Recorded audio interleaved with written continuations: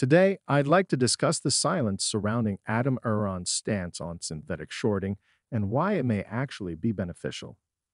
There are speculations that Adam Aron is either a hedge fund puppet or being paid off. Hey, welcome to AMC Daily. If you are new to the channel, be sure to subscribe to the channel and turn on post notifications by hitting the bell so you can never miss any of our uploads and also enter our giveaway. But everyone remember this is not a financial advice video. Roger Hamilton, the CEO who is actively fighting against shorting, has shed some light on the situation. He revealed that he has faced increased targeting and pushbacks since speaking out against synthetic shorts. Despite making progress on the legal front, implementing corporate actions, and witnessing company growth, he has been forced to remain quieter. Why is this the case? According to Christian's warning to Roger, CEOs who publicly oppose Wall Street fraud often become the target of investigations by the very institutions that should be protecting them from market manipulators. The SEC, instead of tackling the fraud, decided to investigate Roger after he called out Wall Street fraud, leading to his company, GNS, also being targeted. Roger himself became a target, feeling the weight of intimidation and effectively being silenced. He deeply contemplated the situation and realized that his company and shareholders were suffering due to their enforced silence.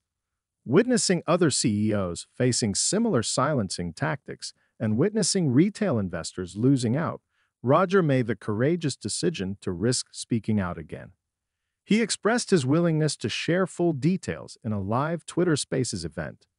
In essence, Roger's tweet highlights the fact that if CEOs like Adam Aron had been vocal about fraud, two scenarios would likely have unfolded.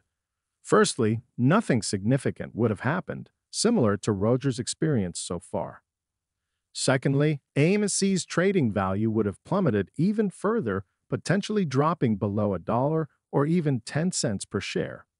Short sellers would have intensified their efforts if Adam Aron had spoken out. Nevertheless, it is important to note that companies fighting against synthetic shorting, like GNS, often face significant challenges and further destruction. This may explain why Ryan Cohen, just like Adam Aron, refrains from discussing synthetic shorting. Those who accuse Adam Aron of being a hedge fund puppet should also extend their claims to Ryan Cohen. Both CEOs avoid the topic for the sake of protecting their companies and shareholders. It appears that other CEOs also encounter the same predicament. One person conversing with Roger expressed their own conflict regarding speaking out and expressed their frustration.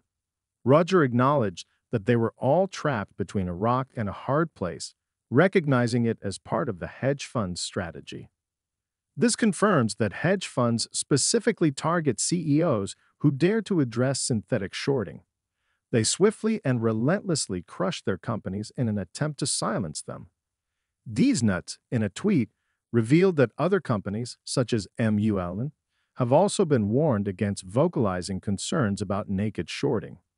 This person further criticized the corrupt government and the SEC for targeting companies that expose synthetic shorting.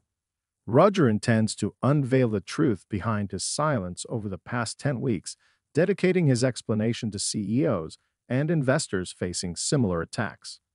Understanding this, it becomes clear why Adam Aron refrains from speaking out against synthetic shorting and vehemently denying synthetic shares whenever possible. Ultimately, it is a means of protection, knowing that speaking out would not only yield no significant results, but also potentially drive AMC's value even lower, possibly leading to bankruptcy if lenders recalled their debt. Despite Wall Street's efforts to silence these CEOs, the shorts themselves are growing increasingly fearful as we enter phase two of the squeeze, as I will elaborate on shortly. Darren's tweet draws a parallel between listening to the ocean through a seashell and the audibly terrified hedge funds.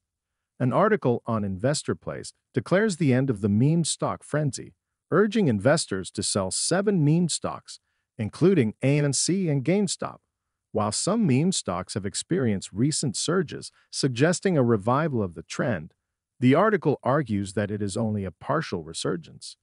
Many previous meme stock favorites continue to struggle, and the current rallies may prove temporary. This article appears to be a desperate attempt by hedge funds to convince shareholders to sell their shares before the next phase of the squeeze. As previously explained in my videos, the squeeze encompasses four distinct stages. Initially, shorts close their smaller positions in large tech stocks, leading to a tech stock squeeze. We are already witnessing this phase. The subsequent phase, phase 2, involves the closure of short positions in low-cap gems like Carvana, as we are currently observing with stocks like SPCE, MULN, and NKLA surging in the pre-market. For instance, Virgin Galactic stock was up 40% in the morning, MULN surged 17.6%, and NKLA increased by 15.71%. These smaller cap stocks are beginning to experience their own squeezes. Phase 3 will involve the squeeze of smaller meme stocks like Clove, Nokia, and BlackBerry, potentially leading to their run-up. Lastly, we reach Phase 4, where the largest and riskiest meme stock short positions will be closed, resulting in a significant squeeze.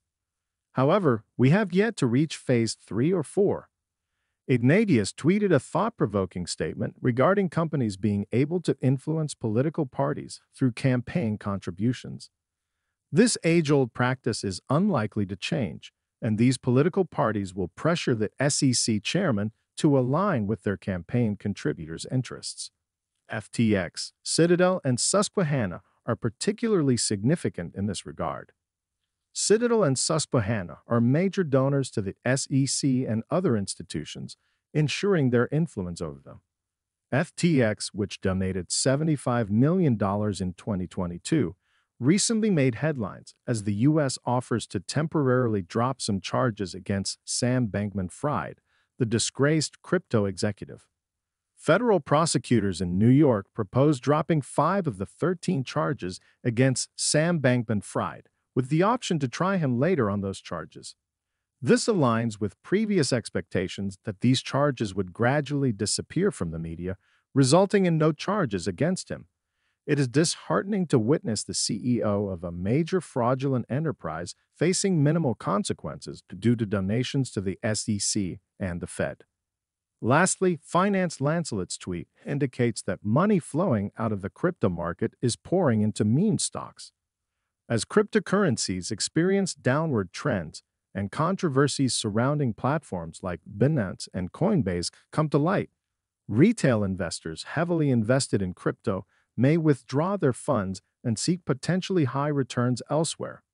Meme stocks present a viable option for these investors, and it is worth noting that many wealthy crypto millionaires emerged in the past decade who may find solace in joining the AMC and GameStop communities. Guys, that's all we have for you today. What is your opinion about AMC stock? Get involved and let us know in the comments down below. Thank you for watching.